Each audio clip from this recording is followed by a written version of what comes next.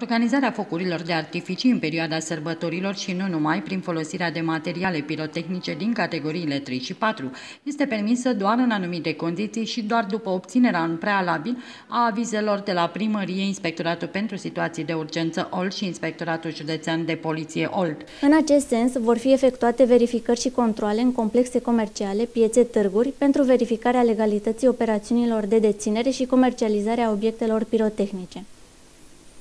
De asemenea, vor desfășura activități pentru identificarea persoanelor juridice și fizice care efectuează operațiuni fără drept cu obiecte artizanale și de distracție pe bază de amestecuri pirotehnice și luarea față de aceștia măsurile legale.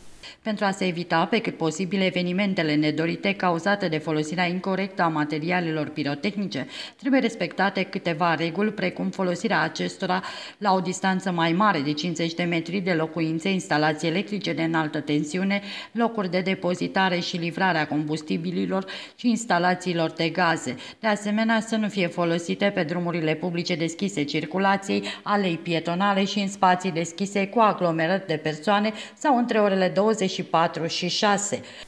IPJ Olt reamintește că persoanele fizice sau juridice autorizate pot folosi articole pirotehnice numai cu luarea măsurilor de protejare a persoanelor, bunurilor materiale, animalelor și mediului.